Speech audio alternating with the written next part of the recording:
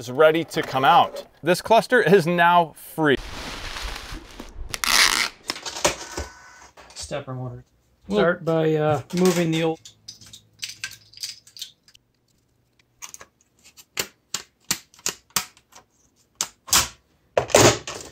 You now have a fully, freshly rebuilt cluster. Wow!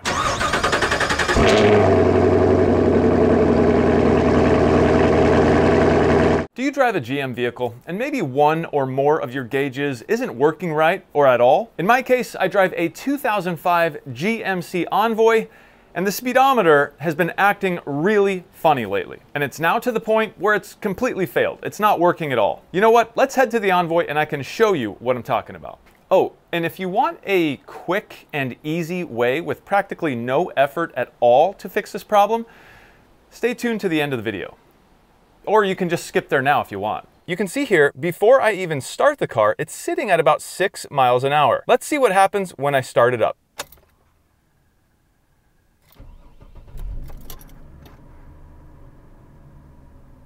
Well, I just started the vehicle and hopefully you were able to tell that these gauges should reset themselves. And one interesting thing that I totally did not plan is this gauge here. This gauge seems to have just failed in the last day since I've driven this vehicle. My voltage is certainly not over 19, but again, this is a common failure with these GM gauge clusters. So I started this video wanting to show you my frozen speedometer, and lo and behold, my voltmeter is now fried. Go figure. Let's talk about the fix. Back to the Envoy. The way we're gonna fix these gauges permanently well, as permanent as it can be, is actually by removing the cluster itself and sending it in to a professional. Now don't fret, this is actually much more simple and cost effective than it sounds. And you're gonna have a professional looking over the entire cluster and possibly identifying other problems as well. This will not only save you time, money, but also future frustration. So let's get started. There are only a few screws we have to remove to get to the screws that hold the actual cluster in. Let's go ahead and start with these first two screws we see up top here. For that, I'm just gonna use this short Phillips head screwdriver. After these two Phillips screws are out, we're gonna move down below the steering wheel where you'll find two more screws, one here and one on the other side, and both of these are seven millimeter. I'm gonna use something like this to remove those, but you can also use a ratchet. With these two screws removed, we should be able to just pop this panel down, just like that. And here on the other side, we're gonna leave it hanging like this for now, as it's good enough for what we need to do. The next step is simply removing two more Phillips head screws, one here and one on the other side. And after tilting the steering wheel down as far as it'll go, this whole inner bezel should be able to slide out very carefully.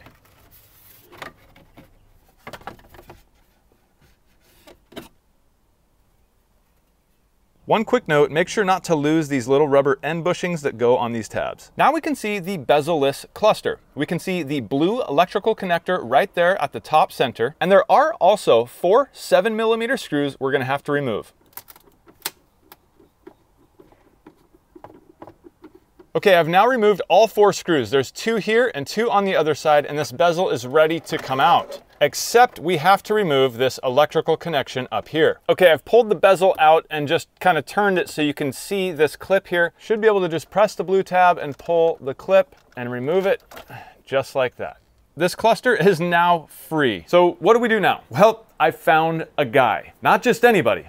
This is the guy. The guy's name is Jeff, and in fact, he's got a YouTube channel where you can check out his work. His channel is called Jeff Escort LX, and I'll link all of that down in the description box below. And that's initially how I found him. I was actually searching YouTube a while ago because my 03 Suburban is also having instrument cluster issues. I came across his channel and I was shocked at the professionalism and the quality of his work. Go to his channel, check out a few of his videos, and I think you will easily agree with me. So I contacted him about my Envoy, and he said, send it over. Now, full disclosure here, we agreed to do a trade with this one, so he didn't charge me for this repair. But I do plan on sending him the cluster from my 03 Suburban and paying full price for that, and I think it's worth every penny. So I packaged it up, sent it off, and this is what happened. Well, Jimmy, you're a YouTuber with a fleet of GM vehicles, and I'm a YouTuber that fixes GM clusters, so we both know it's just a matter of time before our paths crossed. But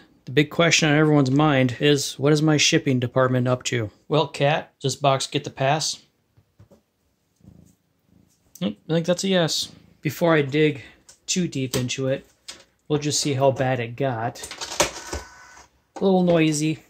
It's got the original tired stepper motors in there. We'll just see how well it can do a full counterclockwise sweep and definitely getting some uh, some crunchy action out of the speedometer so I can see how you've been having trouble with that. Okay, so here at room temperature, it was able to do a full counterclockwise sweep. But as the stepper motors are failing, usually the cold weather is when they start to show up as bad. So I can see why now at room temperature it's working, but it's right on that border of now temperature dependent to work. So let's dig in. We'll do a bulb check while the face is up just to see if you had any burned out bulbs. They're all getting replaced anyways. I think you only had like 36K. Yeah, so the bulbs are going to be fine, but we're going to replace them anyways. But hey man, 36K, that's really low for uh, for this year of vehicle. So that's that's pretty cool. I'm going to start by uh, moving the old stepper motors.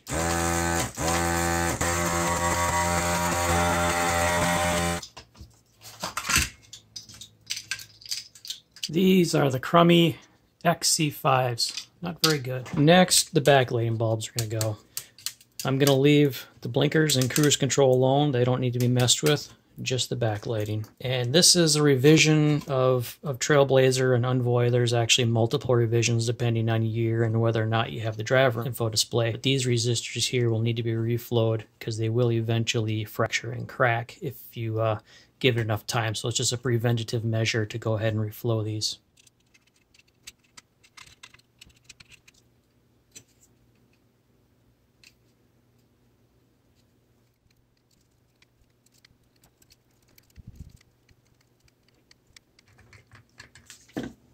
So these group of resistors here are responsible for the vacuum fluorescent display, uh, the hot wire circuit.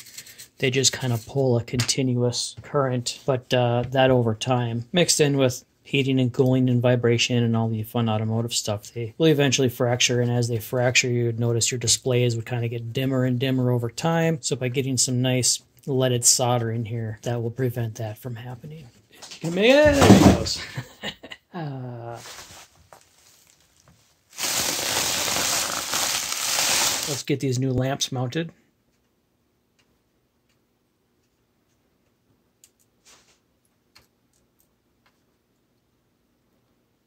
Another step in uh, cluster rebuilding is to inspect the backside because that's usually where the corrosion will start. Now this board is pretty well conformally coated, but uh, we still have to watch out for corrosion and it starts especially in these vias here. And this board as well pretty dang good because it only has like 30,000 miles on it. No problems here. Now for the new motors. These are the X27.168. These are the upgraded stepper motors that won't fail like the originals do.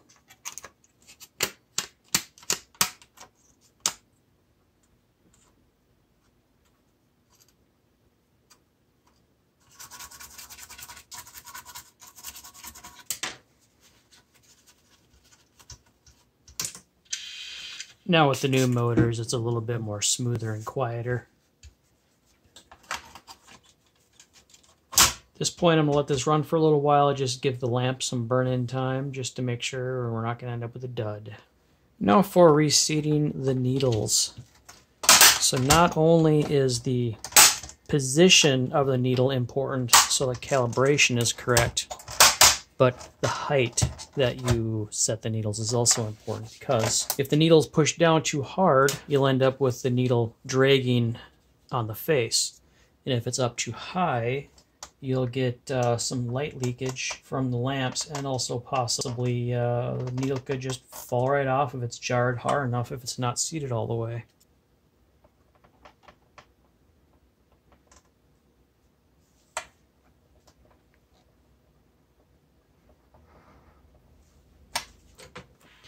So I'm checking the start positions after everything settles out and I have to reposition my mile per hour. I'm down a little bit too far but temp is right on.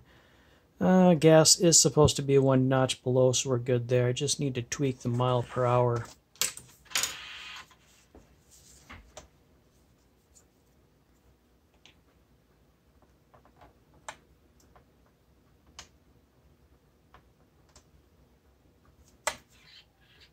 And I might make an adjustment to the RPM too.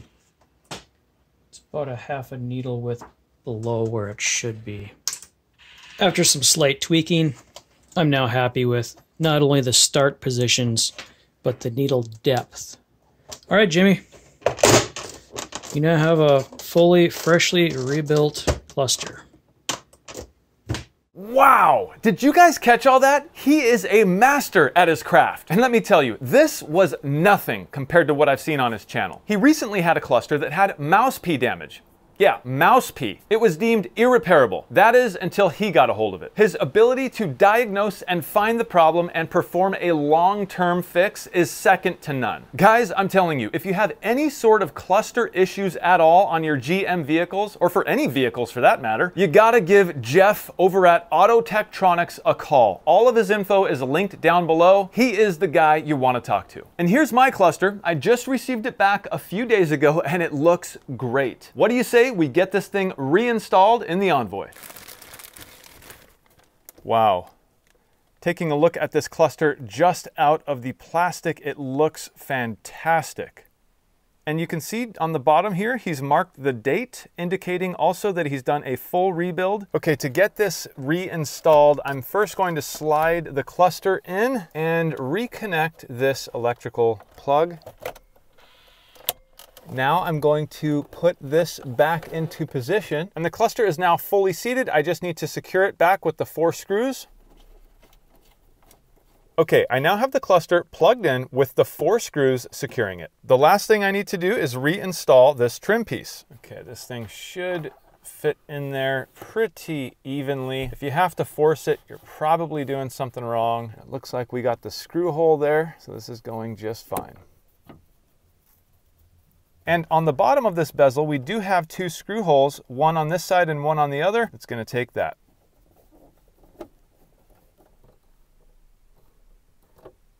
And last but not least, we have this bottom panel here, which should just pop right back into place.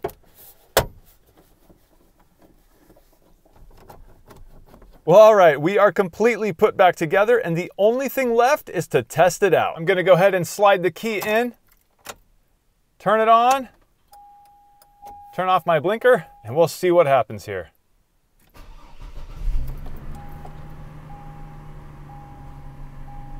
Wow, looked great. All the needles are certainly where they should be, which means the stepper motors are doing their job. Okay, here is another official start after the fix from Jeff over at Autotechtronix.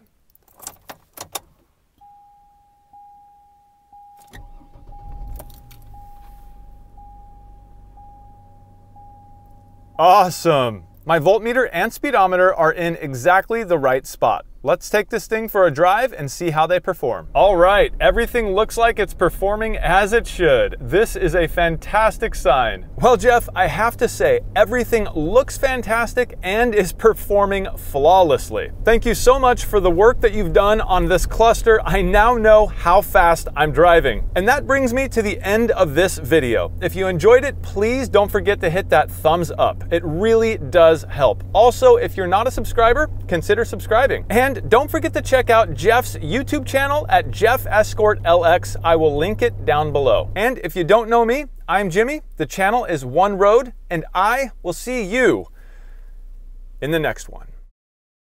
I'm going to go ahead and turn the vehicle off and show you one quick and easy method to try to remedy this.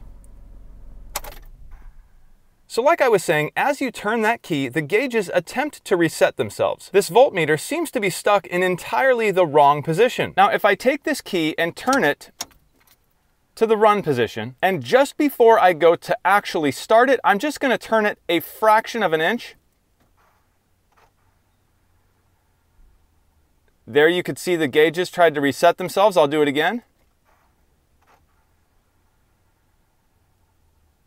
And I'll do it again.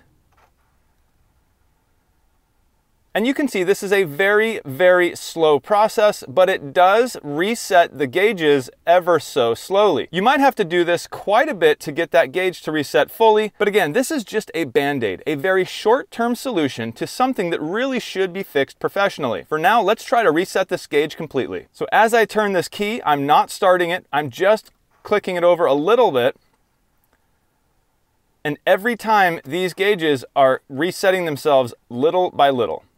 If we continue on this process multiple times, and there I accidentally started the car, so I'll have to turn it off again. But it does look like at this point, it is showing the correct voltage. Let's see what happens if I turn the vehicle off.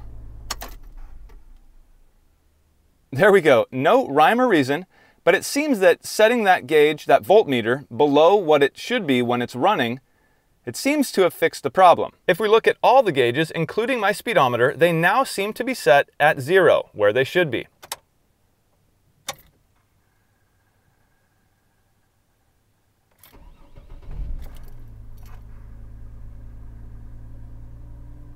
All right, my voltage seems to be okay, although the gauge still seemed like it was struggling a little bit. So again, this was just a very simple band-aid to the real problem. And that real problem is that the stepper motors behind these gauges are actually failing. By doing this key method, the gauges have reset themselves into the proper position. But this is definitely a very temporary fix. In my case, give it about a couple of days to a week and the speedometer will completely fail again. I'm actually quite surprised that I was able to get it to actually function today because it wasn't working at all for the past couple of days. I had no idea when I came out to film this video that my voltmeter actually failed also. So that was a nice surprise. So if you want a very quick and easy band-aid to try to get your gauges to work again, this key method is the trick.